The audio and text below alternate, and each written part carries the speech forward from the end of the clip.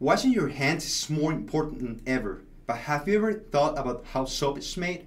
In this lesson, you will create a portfolio of environmentally friendly soaps with different properties, shapes, colors, and aromas.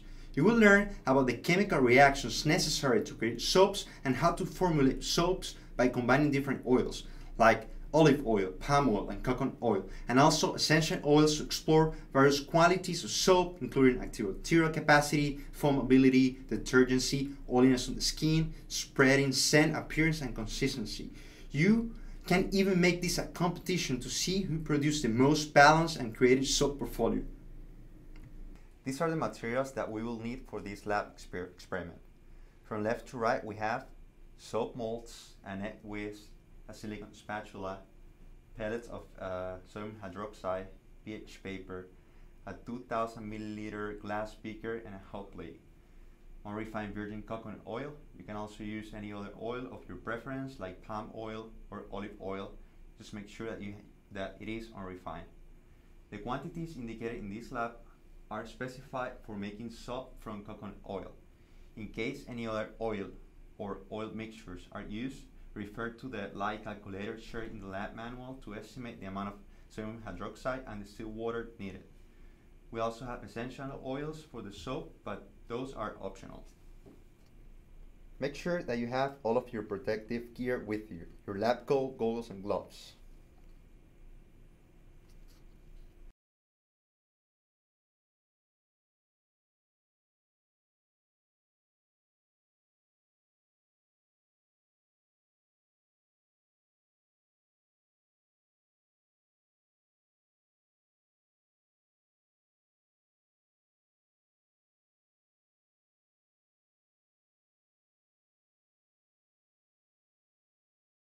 We're going to start by weighing out 300 grams of coconut oil directly into the 2000 milliliter glass beaker.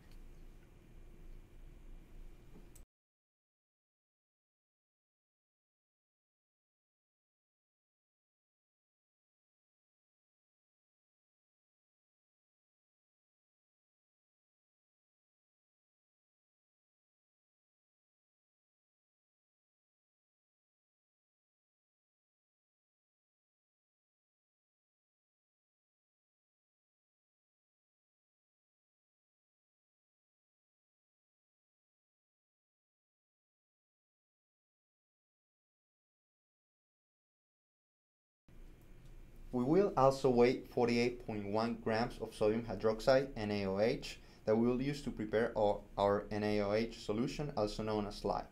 Make sure that you don't touch the pellets with your bare hands and that there is no moisture in the weighing pan or beaker. Sodium hydroxide, both the solid and its solutions, are very corrosive and can cause severe burns.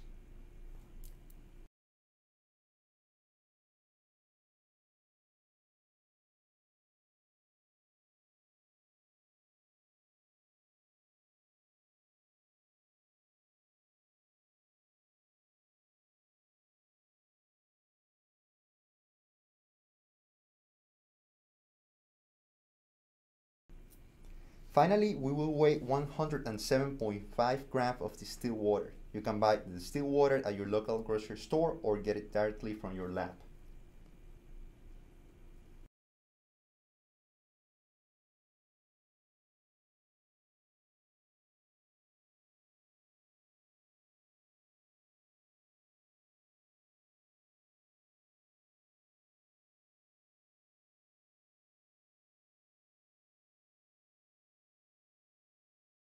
Next, let's place the beaker containing the coconut oil on the hot plate and heat it to 85 degrees Celsius. Keep track of the temperature with a thermometer. You will notice how coconut oil will start melting at around 35 degrees Celsius. Gently stir the oil with a spatula to homogenize it as it starts melting. Here you can see how the coconut oil starts melting at the temperature starts rising.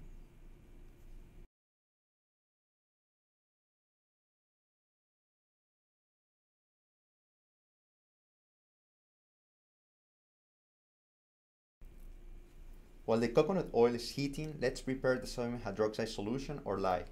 We will need to dissolve the sodium hydroxide pellets in the still water using a 600 milliliter glass beaker. Slowly add the sodium hydroxide pellets to the water. Remember, always add base to water. When sodium hydroxide contacts water, it produces a large amount of heat, so you want to do this slowly and carefully. You can add a few pellets and stir the solution using a glass rod until all the pellets dissolve. And repeat this procedure until all of the sodium hydroxide is been dissolved.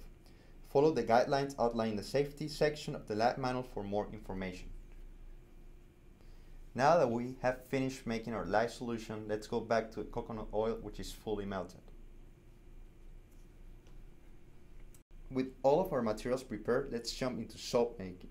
Let's start by slowly adding the sodium hydroxide solution into the coconut oil.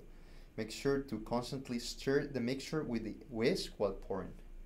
You will also need to adjust temperature so that it remains at 85 degrees Celsius. At this point, all we need to do is to continue to stir the mixture. If you want to get more creative, you can add a few drops of your favorite essential oil or coloring to improve the aroma and appearance of your soap bar.